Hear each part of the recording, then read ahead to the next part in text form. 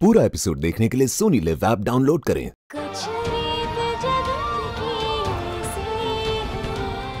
मामा आप खेत दिखाने ले गए ये बात मैं समझ गई। साथ में प्रॉपर्टी की फ़ाइल क्यों लेकर गए थे? लो बोलो। अरे तुझे याद है ना कि खेत दिखाने लेकर गए थे? तो फिर सवाल क्यों पूछ रही है? हाँ मामी मैं समझ गई कि मामा बापूजी को खेत दिखाने ले गए थे। लेकिन प्रॉपर्टी की फ़ाइल क्यों लेकर गए थे? अरे प्रॉपर्टी की फ़ाइल नहीं थी नंदू।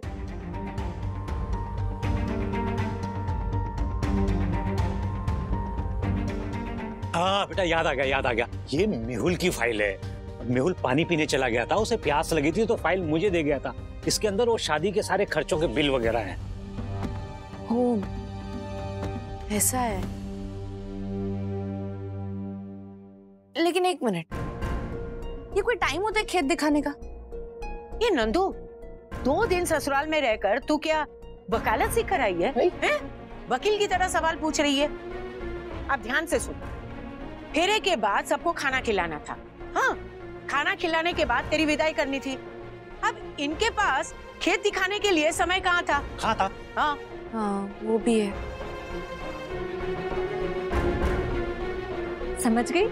अब कुछ और बातें करिए please Naren ji sorry sorry जीजू जी। आप दोनों हनीमून पर कहाँ जा रहे हैं? अरे इसमें शर्माने वाली कौन सी बात है? वैसे भी मामा और मामी भी तो गए होंगे ना हनीमून पे। क्यों मामी? ए मिट्टिया शर्म नहीं होती तने? सुनिए चलिए यहाँ से। अरे इनके साथ में बैठना खतरे से खाली नहीं है। चलो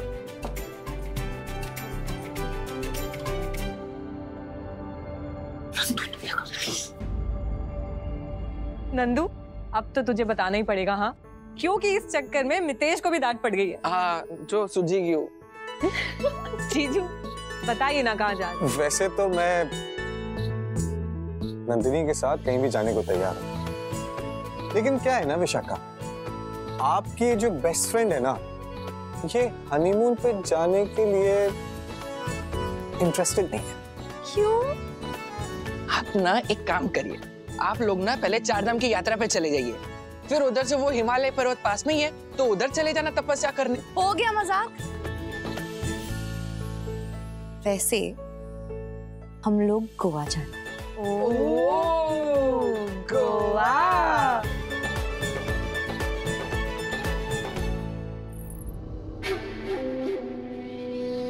मणिक भाई जी।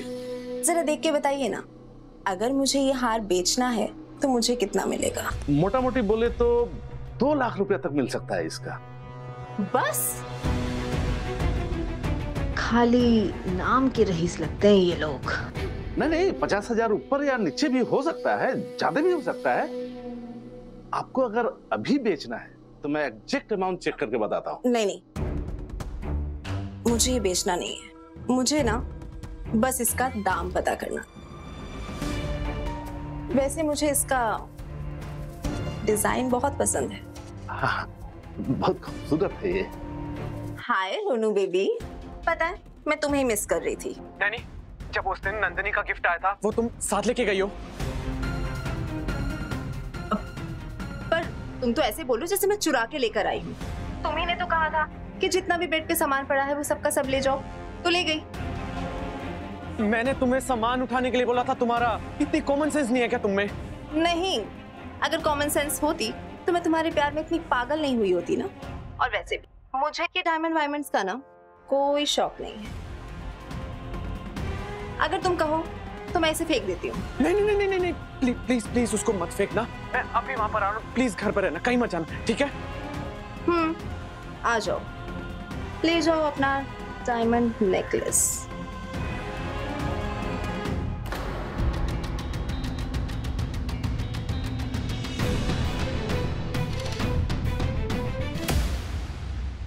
ये रौनक अभी तक नेकलेस लेकर नहीं आया। रिलैक्स तुम दोनों मेरे सिर पर क्यों खड़े हो यार? ऐसा लगना चाहिए कि हम कोई काम कर रहे हैं। आता होगा वो।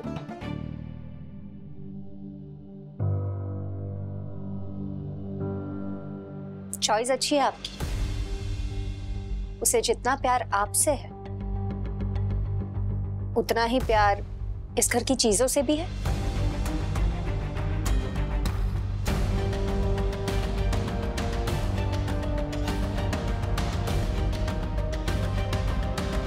नेकलेस गया गया गया गया गया गया। रौनक जिगर। कहाँ जा रहे हो? वो थोड़ा बाहर जा रहा था। नेकलेस मिला? नहीं मोटा काकी। याद नहीं आ रहा है कहाँ रख दिया। पर इतना है कि घर में ही है वो। एक अर्जेंट काम याद आ गया था इसलिए बाहर जा रहा हूँ। घर आकर बस नेकलेस ढूंढकर मोटा बापू को दे दूँगा। रुको।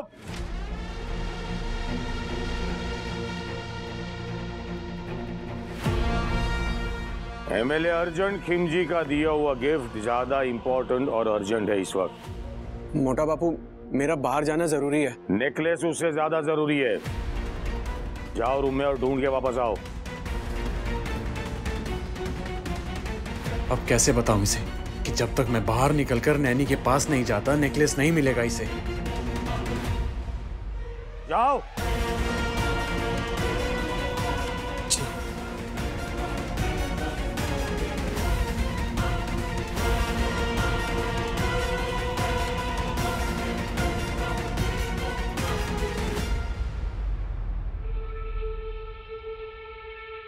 अब तो ये गया काम से। हाँ पापा रौनक ने ये बहुत गलत किया। इससे अच्छा तो हमें बेच देता। हम सही दाम लगा लेते। है ना जिगर?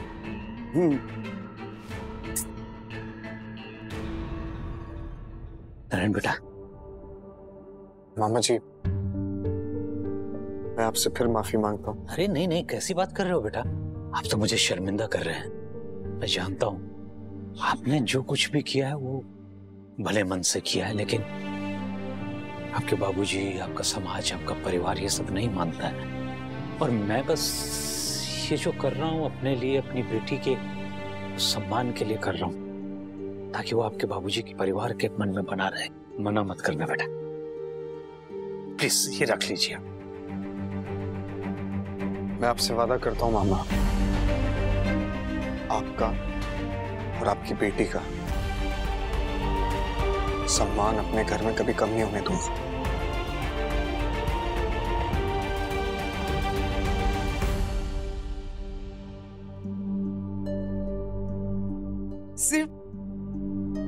तेरे कपड़ों की ही कमी है यहाँ पे।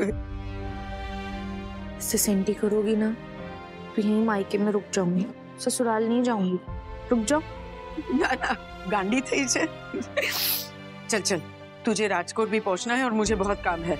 मामी मुझे करने दो ना।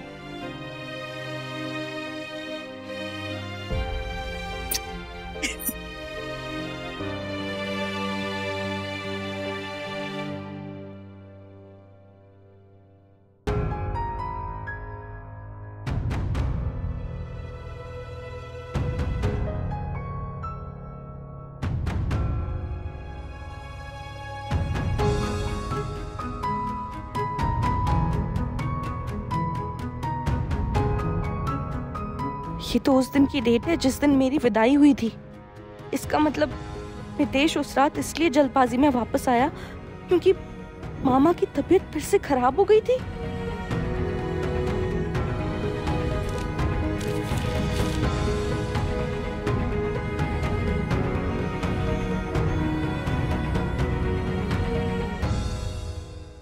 मामा? मामी? ये क्या है? क्या? मैं जिस दिन इस घर से गई, उसी दिन आपकी तबीयत खराब हो गई। इसीलिए रातों रात आपने मितेश को घर वापस बुलवाया था ना? मुझे ये जानने का हक भी नहीं है। सही कहते हैं। शादी के बाद बेटियाँ पराई हो जाती। लेकिन बेटियाँ पराई नहीं होती। बल्कि उसके घर वाले उसे पराया कर देते हैं। ऐसा नहीं है बेटा। नंदिनी जिस रात मामा जी की तबीयत खराब हुई थी मितेश ने बताया था मुझको।